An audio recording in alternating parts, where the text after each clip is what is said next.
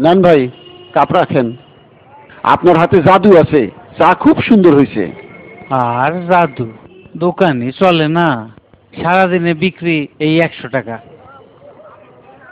আপনার ছেলে মেয়ে কয়জন? দুইজন।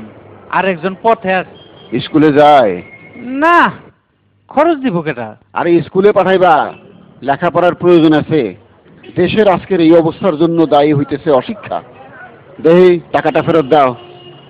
টাকা ফেরত দিব? কিসের টাকা? একশো টাকার একটা নোট দিলাম না। এক কাপ চা আর একটা পচা কেক। এটার দাম একশো টাকা। একশো টাকার নোট কোন দিলেন? আরে মিয়া ফজলামি করো। এইটা একশো টাকার নোট দেখা যায়। এইটা আপনি কি কোন?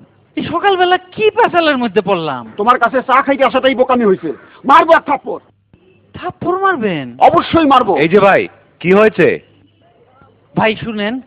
তুমি চুপ থাকো।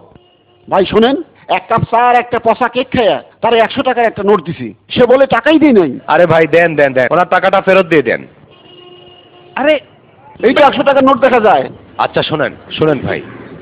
ব্যবসা করবেন সৎভাবে। আমাদের নবীজিও ব্যবসা করতেন। শোনেন ওনার টাকাটা ফেরত দিয়ে দেন। দে দে টাকা দে টাকা দে। দিয়ে দেন। পচা কেক আর চায়ের দাম রেখে বাকি টাকা ফেরত দে। চায়ের দাম লাগবো না। লয়ে যান। আরে বেটা আমি মাগনা খাব নাকি? আমি মাগনা খাওয়া লোক না। টাকা রাখ। আমার কাছে আর কোনো টাকা নাই। অন্য সময় দিয়ে যাইন। আমার আমার সা- আমার সাথে ও ছাতাও তোমার?